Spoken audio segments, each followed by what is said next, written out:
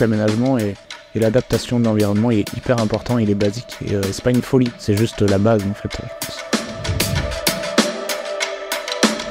Alors moi c'est Samuel Marie, j'ai 36 ans et je suis un aventurier autour du monde.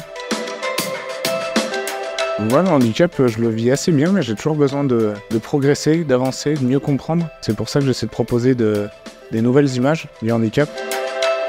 On était en Antarctique ou dans les montagnes, des, des endroits où on n'attend pas une personne à mobilité réduite. Et ça, je pense que ça peut faire changer euh, l'image qu'on a, euh, embellir, mettre un peu de paillettes sur tout ça.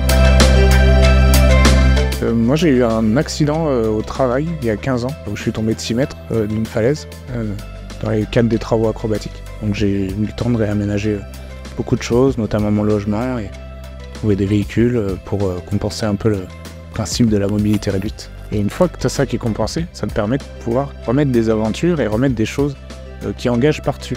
Si tu as déjà la problématique du quotidien dans ton chez toi ou dans ton véhicule, ça veut dire que derrière tu pourras rien engager de plus parce que c'est déjà l'aventure, le quotidien. D'aménager en fait euh, l'environnement même urbain, toute la société, d'adapter tout ça, ça permet derrière de pouvoir euh, être plus créatif et de proposer quelque chose aux autres, à la société, même à soi-même. C'est pour ça que l'aménagement et, l'adaptation de l'environnement est hyper important, il est basique. Et, euh, et c'est pas une folie, c'est juste la base en fait, je pense.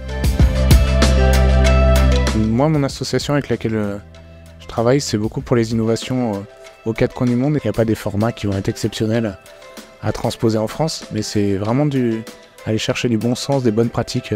Je me balade avec mon camion pour aller chercher ça. Et dans un autre euh, registre, euh, je fais partie d'une as- d'une association euh, qui développe une, un cockpit accessible de montgolfière pour qu'on puisse piloter directement de son fauteuil, sans faire de transfert et en totale autonomie. On ouvre une formation pour qu'on puisse devenir pilote, peut-être plus tard instructeur, et ouvrir une formation et que ça soit accessible à tous. J'ai essayé du, de l'autogire en ULM d'une classe de, du LM euh, avant-hier. Là, je vais faire du 3 axes demain.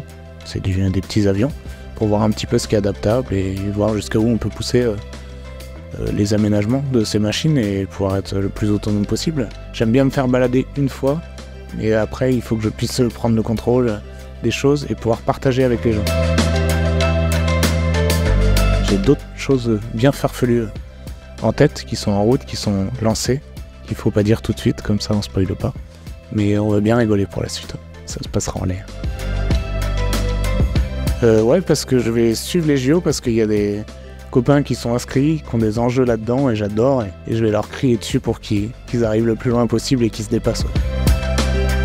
C'est se lever le matin, peu importe nos compétences et, et ce qu'on est capable d'apporter.